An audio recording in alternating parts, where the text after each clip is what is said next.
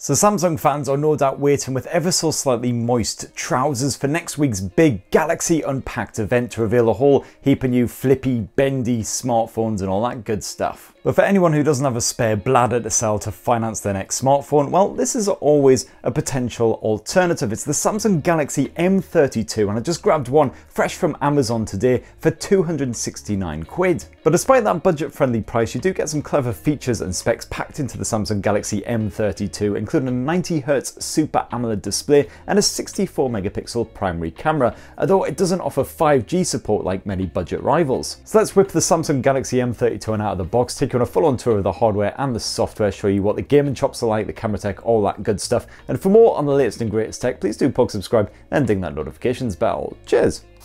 Okay, so let's see what we actually get in the box. And of course, you do have one Samsung Galaxy M32, one adaptive fast charging plug with hilarious pop-up action. There's one decidedly short Type-C USB cable. You've got a bit of pokey pin action. And that's basically it, besides the usual boring leaflety stuff. As usual, no protective case or anything, so that's a bit of a shame. So let's turn our attention to the actual smartphone, the Galaxy M32, and it's certainly got a decent little heft to it, uh, that's for sure. Up front, you've got a Gorilla Glass 5 display. That's pretty damn good. That should hopefully prove scratch resistant over time. Although sadly, there's no pre-installed screen protector, just for an extra bit of protection on there. Meanwhile, around the back end and the sides as well, you've got a plastic frame. It's certainly quite a jazzy disco style design on the back end of the Samsung Galaxy M32, though certainly looks a lot better in real life than it did on the pictures on the Samsung and the Amazon websites. This is the blue model, but you can also grab it in white or black. Is actually a smooth back here on the Galaxy M32 as well. I was expecting more of a textured back end, again from those promotional photos. And touch wood, that blue finish seems to be hiding the worst of the greasy, smudgy prints where I've been fondling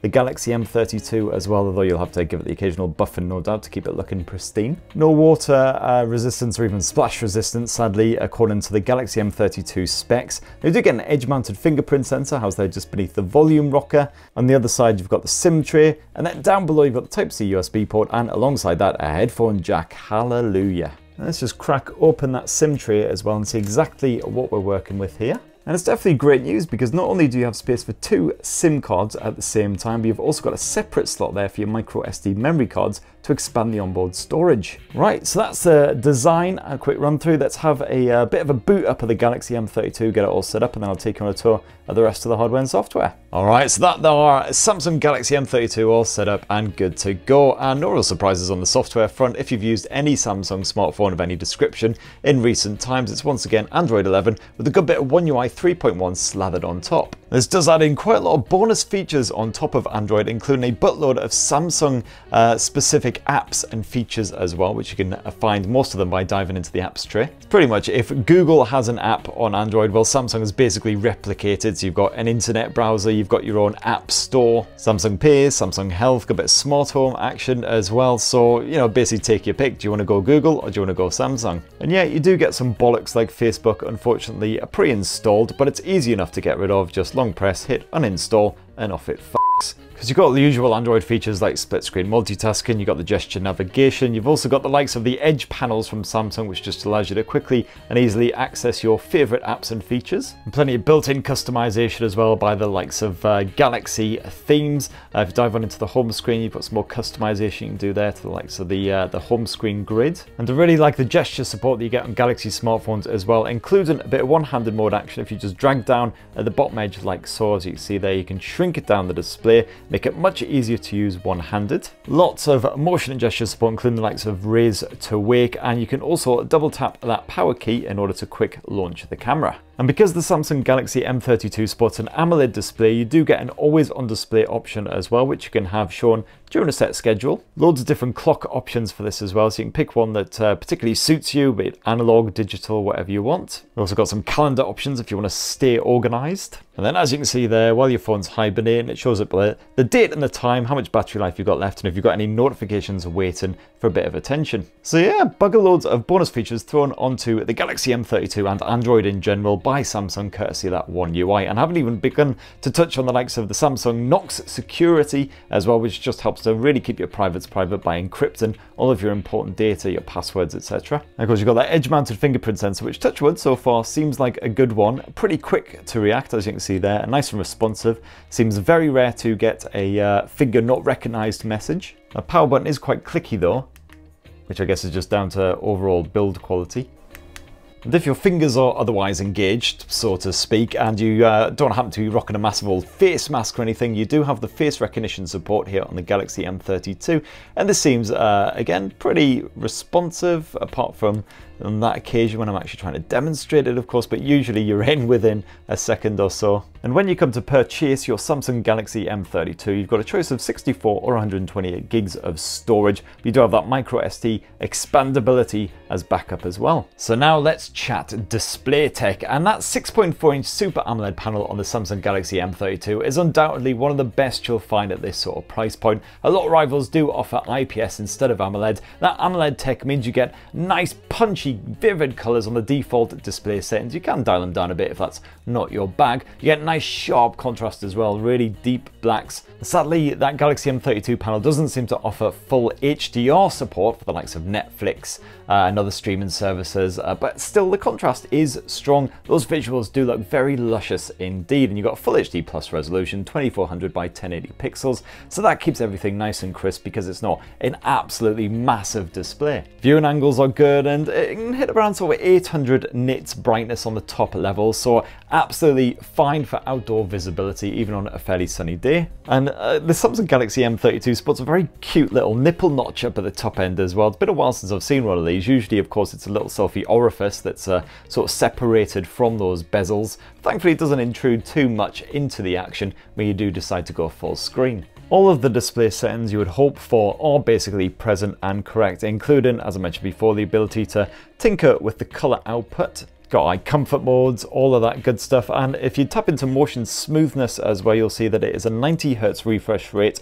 Uh, you can bump it back down to 60 hertz if you want to save on the battery life, but I really like that 90 hertz finish, just makes everything silky smooth. What about the audio? Well, sadly, it's not a stereo speaker setup here on the Galaxy M32, just a mono speaker housed here on the bottom edge, boo hiss. But let's bump up the volume, see what we've got. Thankfully, you do at least get a generous choice of either 128 or 256 gigs of UFS UFS 3.1. So you know what, for a mono speaker setup, that's absolutely fine as long as you don't accidentally smother that speaker grill with your palm or uh, fleshy fingers, then it's all good on that top volume, nice and loud. Clarity is reasonably good as well. And of course you do have that 3.5mm headphone jack if you want to get plugged in, enjoy a good bit of high-res audio. Otherwise you've also got Bluetooth 5.0 support if you want to go wireless. Now performance is one area where the Samsung Galaxy M32 certainly struggles a bit compared with a lot of rivals around this price point. Where you got running the show as a MediaTek Helio G80 chipset, also found in Samsung's Galaxy A32. Quite a basic chipset, quite energy efficient as well, but you don't get any 5G support.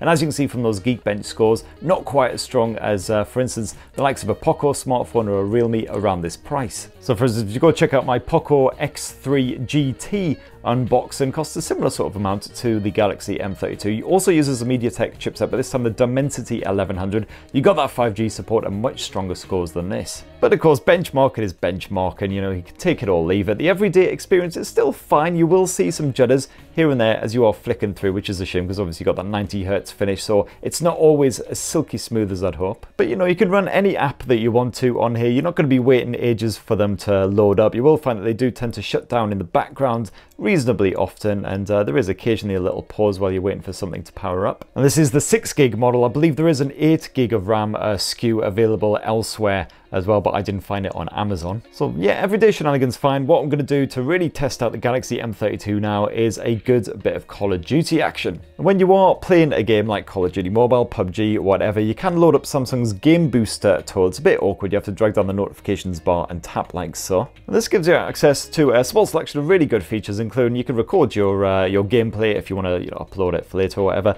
You can keep an eye on the uh, the temperature and your resources on here as well. And you've also got the excellent priority priority mode, which basically blocks notifications and keeps you focused on whatever you're doing. Now, I've jumped on into the game settings menu here on Call of Duty Mobile, and you're already starting to see the limitations of that MediaTek Helio G80 chipset. Because as you can see, you can only max out the graphics at medium level, very low indeed, and frame rate at high, not very high. You don't have any of those options. But anywho, let's jump on into a match and see if I actually stand a fighting chance. Yeah, I'd say if you want to do a bit of light gaming, the Galaxy M32 is definitely up to it, even though I had to have the graphics settings scaled back. Uh, my Call of Duty mobile sessions ran pretty smoothly, a couple of little judders and shakes here and there, but overall definitely very playable. Screen responsiveness is absolutely fine. The detail levels aren't so bad that you can't see anything coming at you until it's like two foot away. Uh, I did get my ass handed to me time and time again, but that's mostly because I just suck at games. So overall, yeah, not bad.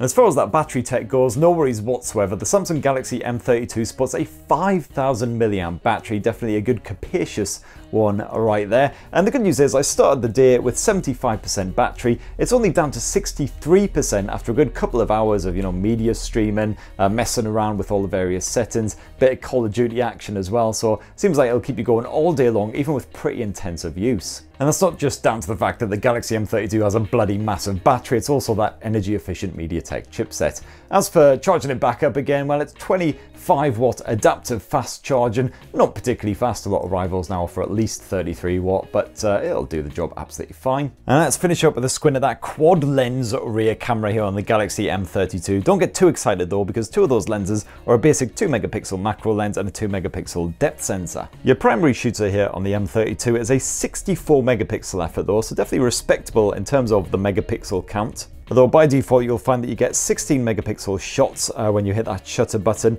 uh, because it uses 4-in-1 pixel binning. You do have Samsung's usual scene analyzer slash optimizer smart as well, so as you can see down here, you can just suggest other uh, modes and settings that you might want to use when you're shooting a photo. So for instance, a good bit of portrait action if you're shooting a human subject, human in inverted commas in the case of uh, Veronica, but she's real to me. You've got a variety of other modes you can swap between as well, including of course a good old food mode if you want to take a picture of your ham and cheese toasty before posting it up on Instagram. Uh, you got night mode uh, for those low light shots, macro mode of course using that 2 megapixel rear lens. And full pro controls as usual as well if you want to manually take over uh, the likes of the ISO levels, the white balance. And then the other alternative lens is an 8 megapixel ultra wide angle shooter which just gives you a nice pulled back view of the action when you're trying to fit quite a lot into frame. And here's just a few test sample shots that I snapped around the homestead uh, while testing out the Galaxy M32. As you can see, reasonably natural looking results as long as you're not trying to shoot into bright light or in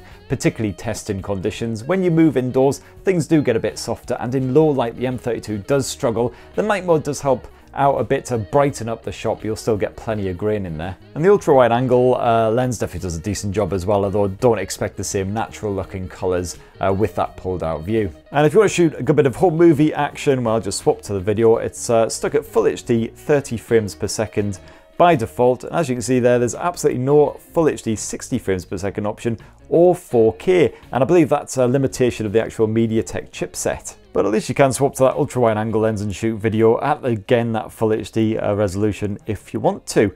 And then uh, when it comes to the selfie snapper, uh, up there in that little nipple notch, well, it's a 20 megapixel effort. Uh, it should be fairly okay for your sort of bog standard basic shareable shots. I wouldn't expect anything particularly special. Uh, you've got the standard view, otherwise the slightly pointless pulled back view, which makes bugger all difference really. You've also got the portrait mode option as well if you want to blur out the background, make it all about your mug. So that right there, in a nutshell, is the Samsung Galaxy M32, which as I say, you can grab from Amazon right now here in the UK for around 270 quid. And I've gotta say, some aspects of it really, really good. Love that Super AMOLED display, absolutely stunning stuff. The audio chops are pretty good as well. You've got the headphone jack, you've got the expandable storage, all the specs you would expect. Unfortunately, when it comes to the performance, it is quite limited, so any gamers will definitely want to look elsewhere and maybe upgrade slightly to the Poco F3, which can handle any title out there on pretty much maxed out settings. Uh, and of course, because you've got that MediaTek chipset, that also means the camera tech is somewhat limited as well. You can't shoot at 4K, for instance. Anyhow, I would say if you're looking for a, a new smartphone around that sort of uh, 200 to 300 pound price point, definitely check out my roundup of the best budget phones under 300 pounds you can grab right now in 2021. That'll give you a few more ideas. And if you've got yourself a Galaxy M32, it'd be great to hear from you down in the comments below. Tell me exactly how you're finding it so far, if you find the performance a bit limited, or if you're struggling with the camera, or any other aspect of it, or if you just absolutely ruddy love it. Thanks for watching. For more on the latest greatest tech, please do poke subscribe and ding that notifications bell, and have yourselves a bloody lovely rest of the week. Cheers everyone, love you.